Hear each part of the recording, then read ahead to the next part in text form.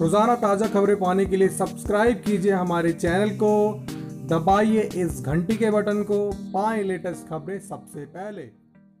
Viral हो रहा है। यह पानी में तैरता महल। देखते ही वायरल हो रही हैं तस्वीरें। दोस्तों, अगर आपने अभी तक हमारे चैनल को फॉलो नहीं किया है तो अभी ऊपर दिए गए पीले कलर के फॉलो बटन को क्लिक करें, ताकि आप हमारी कोई भी न्यूज़ मिस न करें। दोस्तों, आज हम बात कर रहे हैं पानी में तैरने वाले महल के बारे में, जिसकी तस्वीरें यूट्यूब फेसबुक और इंस्टाग्राम में तेज़ी से वायरल हो रही है। दरअसल, यह महल मुकेश अंबानी ने खरीदा है, जिसे फ़ेमस रेशिप बिल्डर्स कंपनी ने बनाया है। अड़सठ मीटर लंबी और 38 मीटर चौड़ी महल जैसी दिखने वाली यॉट का क्षेत्रफल छत्तीस वर्ग फुट है। इस यॉट में सभी सुख सुविधाएँ मौजूद हैं जो दुनिया में सबसे अमीर इंसानों के पास हो सकती है। आपको बता दें, इस घर में एक सिनेमा हॉल, एक मसाज रूम, एक पियानो बार।